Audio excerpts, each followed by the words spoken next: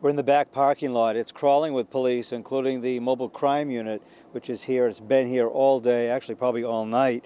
Uh, this is the backside of uh, 32 Gold Street, the duplex where Sousa has lived with her boyfriend, Nicholas Lovejoy. The two have twin eight year old daughters together.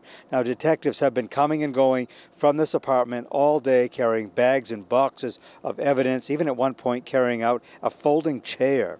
Police say Sousa, last seen Tuesday morning, putting the kids in the school school bus. Friends reported the mom missing Tuesday night, and just before midnight, police stopped Lovejoy in his truck, arrested him on charges of carrying a loaded rifle, endangering the welfare of a child, because authorities said that he left the girls home alone. A neighbor telling us she thought she heard gunshots on Monday.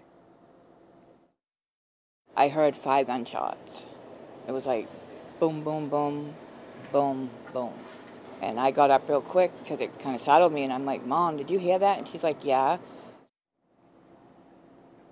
Now, again, an autopsy was being performed uh, today. We're still waiting on the results of that to determine the positive ID and the cause of death. Meanwhile, Lovejoy uh, is supposedly cooperating with police being held at the Kennebec County Jail. That's in Augusta. And we're getting late word tonight that he will be in court tomorrow afternoon uh, to face those charges of gun charges and uh, child welfare charges. That's tomorrow. We're live in uh, Waterville right now. Jim Keithley, WMTW News 8.